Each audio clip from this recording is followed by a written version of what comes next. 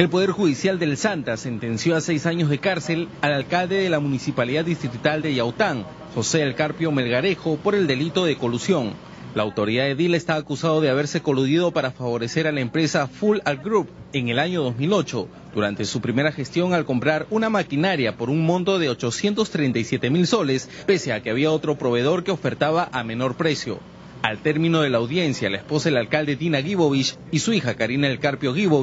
entre lágrimas, calificaron de injusta la medida y exigieron justicia.